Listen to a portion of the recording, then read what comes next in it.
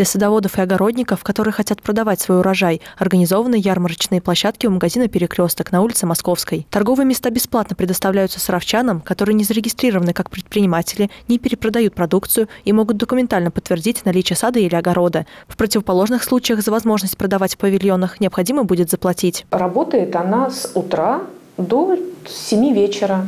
Ну, в 7 вечера, безусловно, уже становится темно, но, тем не менее, там уже э, гражданин сам решит, э, в какое время ему выйти. Это не обязано, что он должен выйти в 9 утра и, например, до 7 вечера там отстоять. Нет, он может выйти в любое удобное для него время, будь это, может быть, в обеденное, либо вечернее, за, чтобы он захватил высокий трафик да, пешеходов и покупателей. Кроме плодово-овощной продукции, продавать в павильонах можно и саженцы, кустарники, растения, цветы. Все, что выращено на огородной земле. Реализовывать мясо и молочные молочную продукцию в ярмарочных павильонах запрещено. Она требует у нас прохождения ветеринарного контроля. С этой продукцией можно уже обращаться на рынок, на наш городской рынок, торговый парк АСС, Димитрова 8.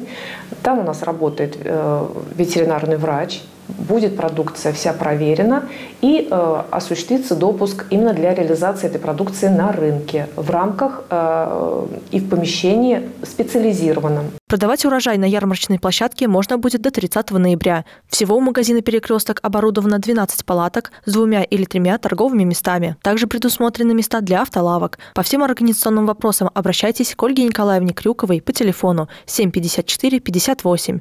А если вы хотите приобрести урожай, рассаду или фермерскую продукцию из первых рук, то приходите в воскресенье 18 сентября на традиционную осеннюю ярмарку в торговый парк АСС. Горожане знают, это ежегодный формат.